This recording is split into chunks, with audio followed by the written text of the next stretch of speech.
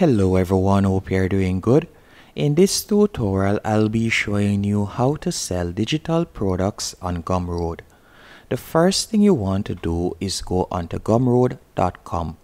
Once on gumroad.com, I want you to tap on sign up in the top right hand corner, right where you see dashboard on my screen. But before doing that, I want you to know that the fee for Gumroad is a flat 10% flat rate right there so that's all you'll have to pay for each sale. They'll collect 10%. So it is very reasonable. Now, once you have tapped on sign up, you can sign up using different social media platforms. For example, your Twitter account, your Facebook account, or you could simply tap on Gmail and you could use your Gmail account or you can choose to enter an email address. Once you have done that, you're going to see the two-factor authentication setup option and you're going to simply go into your email address and from there you can enter the verification code that they have sent you. Once you have done that, you're going to be led to a dashboard just like this. And what I want you to do next is go over to the left hand menu option, tap on products, after you have tapped on products, you're going to tap on new product in the top right hand corner. Once you have tapped on new product, you could enter your product name right here. So let's say for example, I want to name this product first. Then you can tap on digital product. Or if you intended to sell a ebook, you could simply tap on ebook. But I'm going to tap on digital product for this example. Then you're going to scroll down and you're going to enter your digital product price. But before doing that, you can select the, excuse me, you can select the currency that you would like to use. I'll leave it as US dollars. Then you can enter your price right here. Scroll back up, then tap on next, customize in the top right hand corner. After you have tapped on customize, you'll be led to this dashboard and this is basically the cover page of your product. So you'll see a preview of how it looks in the right hand column. And to edit it you'll go over to the left hand column and you could enter the description. You can also see the product URL right there. And you can scroll down and you can add a cover image if you want by tapping on upload images. You can also add thumbnails if you want and you can see the product info so you can edit the call to action. So you have three options. I want this buy this or pay. You can select whichever one of these call to actions. Then you can scroll down and you can see additional settings that you can also use or editing options right here. Once everything is to your liking you're going to go over to the left hand menu option and you're going to tap on content once you have tapped on content, this is where you will be able to add your digital product.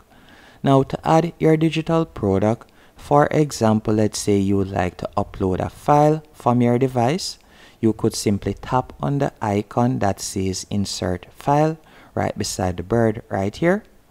After you have done that, you can either choose to upload computer files or if you would like to embed a video for example from YouTube or any other platform you could tap on embed video.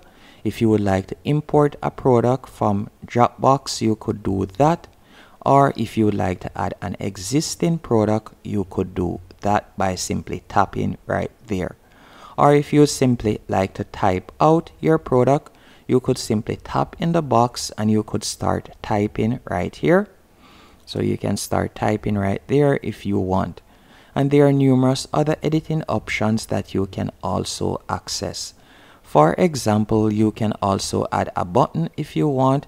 So you could tap on the arrow right here and you could insert a button.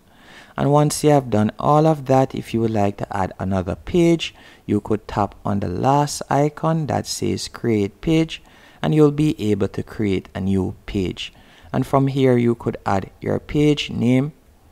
And then you can create other pages if you want by simply tap on add another page and you can create numerous pages. Once you have done all of that you'll simply tap on save changes in the top right hand corner. After you have tapped on save changes, you could tap on publish and continue. And from there your digital product will now be live and you'll be able to share your digital product and start making some sales and hopefully start making some money. And you can also edit your checkout page. For example if you would like to add a discount code you can do that by going over to the left hand menu option. You could tap on checkout and you could tap on new discount in the top right hand corner. Give your discount a name and then you can enter your discount code or you could use their pre-selected discount code. And from here you'll scroll down select your product. After you have selected your product you have two options. You can either offer a percentage off or you could offer a fixed amount off with your discount. So after doing that you'll tap on add discount and your viewers or your potential customers will now have access to a discount code. Another thing that you'll also need to set up on Gumroad is going over to the left hand menu option once more, you're going to tap on payouts. By tapping on payouts, you will simply go over to the top right hand corner, tap on settings. Then from there, you will need to verify some things. So the first thing you're going to do is choose your country then if you have a valid government ID, you'll simply tap right there. If you also have proof of residency, you'll tap right there. And then you'll be able to connect your PayPal and other payment options, for example, Stripe and so on. By doing this, you'll be able to offer those payment options to your potential customers. And once you have done all of that, your digital product will now be live and you'll now be able to share it. Hope you found this tutorial helpful and informative. If you did, be sure to hit the like button and subscribe.